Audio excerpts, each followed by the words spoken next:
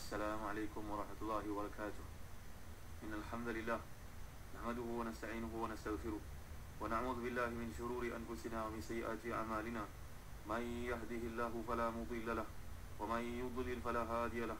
وأشهد أن لا إله إلا الله وحده لا شريك له. وأشهد أن محمدا عبده ورسوله. يا أيها الذين آمنوا اتقوا الله حق تقاته ولا تموتن إلا وأنتم مسلمون. يا أيها الناس اتقوا ربكم الذي خلقكم من نفس واحدة وخلق منها زوجها وبث منهما رجالا كثيرا ونساء واتقوا الله الذي تساءلون به والأرحام إن الله كان عليكم رقيبا أما بعد Saudara penerbit Ustaz Mahathir Syahudin Sedang mendengar yang Allah sekalian Kita menyambung kepada tafsir kita Masih lagi menerusi ayat yang ke-118 hingga 119 Daripada surat Taubah يدرك الله سبحانه وتعالى أعوذ بالله من الشيطان الرجيم. وعلى الثلاثة الذين خلفوا حتى إذا ضاقت عليهم الأرض ما رهبت وضاقت عليهم أنفسهم وضاقت عليهم أنفسهم وظنوا أن لا ملجأ من الله إلا إليه. ثم تاب عليهم ليتوبوا. إن الله هو التواب الرحيم. يا أيها الذين آمنوا اتقوا الله وكونوا مع الصادقين. صدق الله العظيم. Dan terhadap tiga orang yang ditangguhkan permintaan taubat mereka hingga apabila bumi telah menjadi sempit kepada mereka. Padahal bumi itu luas dan jiwa mereka telah pun sempit pula terasa oleh mereka. Serta mereka telah mengetahui bahawa tiada tempat lari dari seksa Allah melainkan kepadanya sahaja. Kemudian Allah menerima taubat mereka agar mereka tetap dalam taubatnya. Sungguhnya Allah lah yang maha penerima taubat lagi maha penyayang. Hai orang-orang yang beriman, bertakwalah kepada Allah dan hendaklah kamu bersama dengan orang-orang yang benar. Saya yang sekalian ini merupakan kisah tentang tiga orang yang telah pun ditangguhkan penerimaan taubatnya oleh Allah Subhanahu Wa Taala. Dalam sebuah hadis yang diriwayatkan oleh Imam Ahmad bahawa Abdullah bin Ka'ab bin Malik yang merupakan anak kepada Ka'ab bin Malik ini menceritakan bila Ka'ab sudah pun buta bahawa Ka'ab menceritakan pengalamannya dia tidak ikut perang bersama Rasulullah ke medan Tabuk.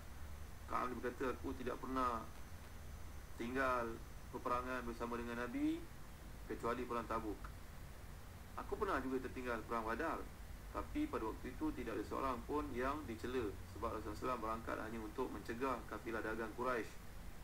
Namun Allah Taala telah mempertemukan kaum muslimin dengan musuh mereka iaitu kaum Quraisy yang datang menyusul untuk menyelamatkan kafilah dagang mereka tanpa ada perancangan sebelumnya. Jadi aku pernah hadir bersama Rasulullah dalam Bayatul Aqabah pada waktu kami bersumpah setia untuk bertahankan Islam. Dan bagiku suasananya lebih aku cintai daripada perang badar. Sekalipun perang badar lebih dikenal ia lebih famous terkenal di sisi ramai orang. Jadi saya ini hati dan dikasih sekalian. Bila Kaab ini bercerita aku belum pernah merasa lebih kuat dan lebih ringan dari waktu aku tertinggal daripada baginda dalam perang tersebut. Demi Allah Sebelumnya aku sama sekali tidak pernah mengumpulkan dua tunggangan. Tapi pada waktu tertinggal itu Aku mampu menyiapkannya untuk perangan tersebut. Dan setiap kali bila Nabi nak melakukan perangan Maka biasanya Nabi akan menyembunyikan hal tersebut Hadar. Ketika perang tabuk Nabi telah memaklumkan awal. Memaklumkan tentang perjalanan penuh rintangan Dan tentera yang akan menjadi musuh kita dalam perang itu ramai bilangan. Maka Nabi telah mengumumkan kepada kaum muslimin untuk siap sedia dengan persiapan yang selayaknya menghadapi musuh dan baginda telah memberitahu kami arah tuju yang kami akan lalui. Saya yang dimiliki Allah sekalian, kaum muslimin yang untuk serta bersama dengan Nabi ini begitu ramai. Tak cukup kalau nak disenaraikan nama-nama mereka dalam satu buku catatan. Jadi apa cerita lagi? Kebanyakan orang yang tidak ingin ikut berjihad menyangka dalam dirinya bahawa perkara itu tak diketahui Nabi. Selagi tidak turun wahyu daripada Allah Subhanahu Wa Taala. Maka Nabi mula mempersiapkan untuk peperangan ini buah-buahan ketika buah-buahan sedang masak dan waktu untuk umat Islam berteduh ketika panas duduk di bawah pokok kurma ujian ini datang. Nabi telah minta kaum ini untuk mempersiapkan diri. Aku pun buat persiapan juga. Lalu aku kembali tanpa melakukan sesuatu pun dari barang-barang yang telah aku siapkan itu. Aku berkata kepada diriku sendiri aku mampu melakukannya jika aku mahu. Perasaan itu terus menerus kepadaku sampai orang yang bersama dengan Nabi telah berangkat sepenuhnya. Aku masih lagi terhege-hege. Keesokan harinya Rasulullah SAW dan kaum muslimin berangkat Aku belum siap sedia lagi. Aku berkata aku akan bersiap sedia esok atau lusa Kemudian aku ikutlah. Pada keesokan harinya setelah kaum muslimin meninggalkan Madinah Aku pun siap namun aku kembali dan tidak buat apa-apa lagi. Ini gangguan dalam diri sendiri sebenarnya secara ini boleh Allah sekalian Tiba hari berikutnya Aku kembali dengan perasaan hampa Perasaan itu mula mengganggu aku. Aku ingin sekali menyusul tentera Islam. Tetapi Setelah aku melakukan perkara tersebut susah dah kerana Nabi dan para sahabat sudah berada dalam jarak yang jauh. Rasulullah tidak menyebut tentang aku Sehinggalah Nabi sampai ke Tabuk. Barulah Nabi bertanya tentang aku di hadapan para sahabat. Tiba-tiba seorang lelaki dari Bani Salamah berkata Wahai Nabi, dia ni telah pun ditahan oleh kedua kain Dia tengah kagum dengan diri dan pakaiannya.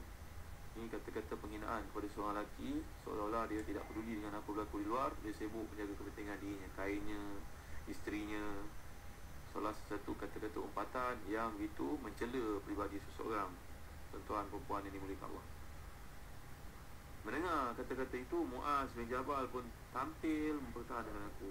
Dia berkata kepada Nabi Wahai Nabi betapa buruknya apa yang kau katakan itu Wahai sahabat Depan Nabi kau kata perkara dusta terhadap Kaab. Kaab ini yang aku kenali adalah seorang yang baik.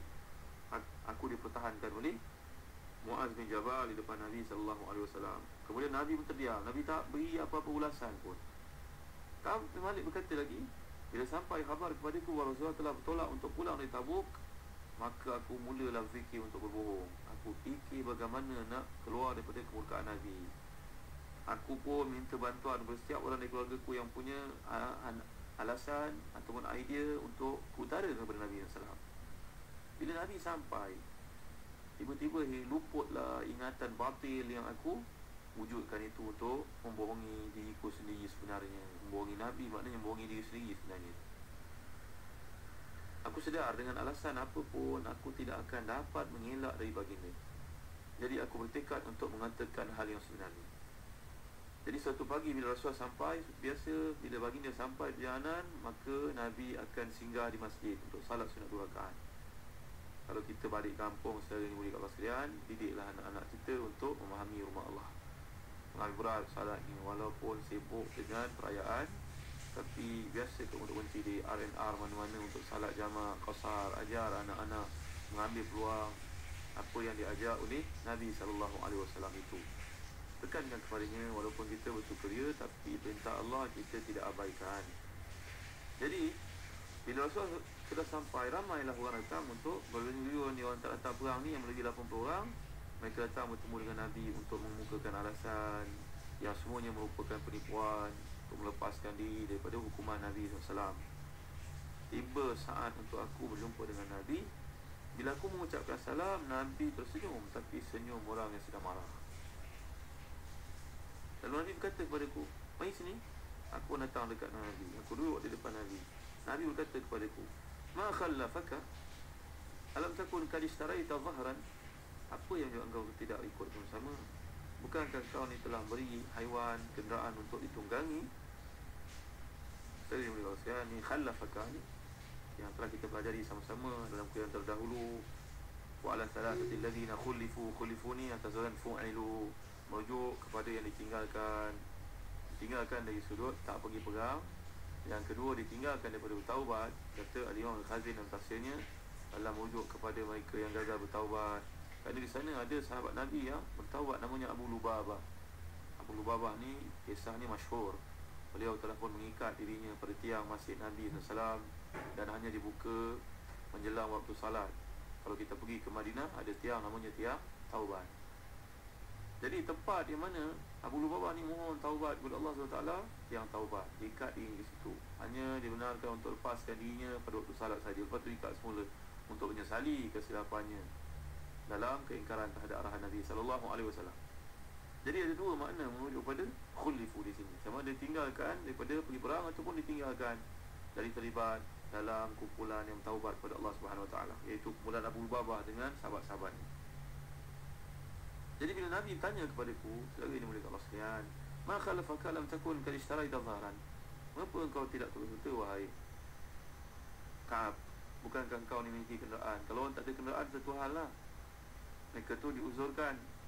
Aku menjawab wahai Nabi jika aku duduk di hadapan seorang lain daripada Nabi di kalangan penduduk bumi ini tentulah saya akan buat berbagai-bagai alasan untuk menyelamatkan diri saya kerana saya ni seorang yang telah diberi kekuatan untuk berdebat. Saya seorang debater tapi demi Allah saya tahu kalau saya ceritakan benda yang tidak betul kepada Nabi SAW alasan yang tidak mensabar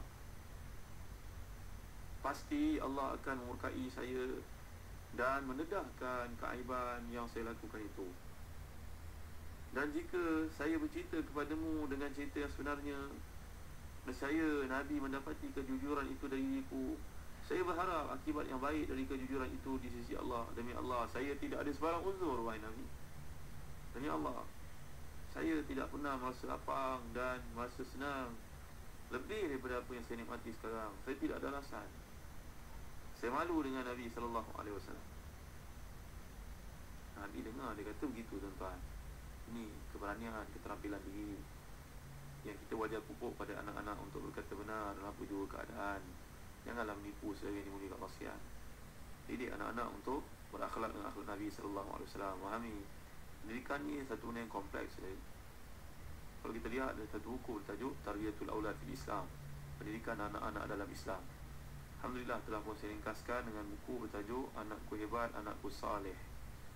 Buku Anakku Hebat, Anakku Saleh ini sebenarnya diringkas beberapa buah buku Tarbiyatul Aulad. Antaranya karangan Dr. Abdullah Nasir Alwan antaranya kalangan guru kami yang amat disayangi Dr. Uqlah Muhammad Uqlah. Seorang profesor yang mengajar usul fiqh ketika di Jordan satu masa dahulu. Dalamnya dititipkan petua mendidik anak supaya jangan berbohong. Dibekalkan anak dengan jati diri Islam yang kukuh agar dia tidak jadi seorang penipu. Jadi apa yang ada pada Ka'ab Malik ni amat dikagumi. Nabi mendengar dia berkata dengan penuh keyakinan walaupun dia bersalah itu Nabi bangkit meninggalkannya Nabi bersabda Amma hadha faqad sadaq Faqum hatta yaqdi Allahu fik.